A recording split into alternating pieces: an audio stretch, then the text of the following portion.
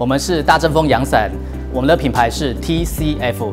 一方面是我们大阵风阳伞的缩写，另外一方面也代表 trending 时尚、travel 愉悦。Freely 自由自在的品牌精神，我们希望雨阳伞不只是遮阳避雨的工具，而是可以彰显自己生活品味以及我们的生活态度的一个时尚配件。无论你走到哪里，拿起一把属于你的 TCF 的阳伞，将会成为人群中的亮点。那也可以成为我们在 TCF 的品牌中最大的呃 OS in the mood 的感觉。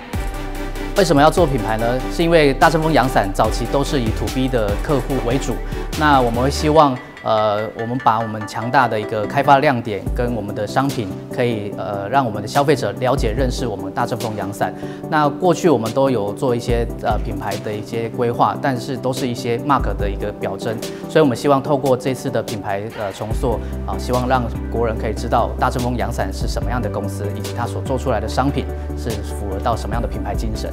打造品牌过程所遇到过的挑战呢，事实上是来自于内部为主。内部因为已经熟悉了经销商体系的一个销售，以及呃对于我们品牌方面呃都会有一些规划的一些通路。那如果我们把这些品牌重新再造以及重梳理的话，势必会造成一些内部的冲突。所以在品牌打造的过程里面，我们很多的时间都在做内部的沟通以及我们的想法的建制。所以到目前为止都算很顺畅，但也有一些的呃争执或挑战都是可以被。被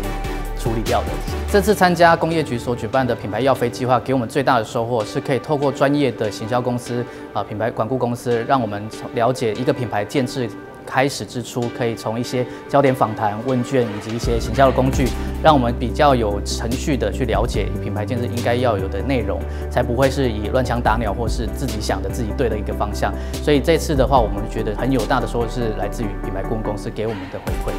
做品牌其实很困难，呃，给大家一句话是：你不用很厉害才开始做，你要开始做才会变得很厉害。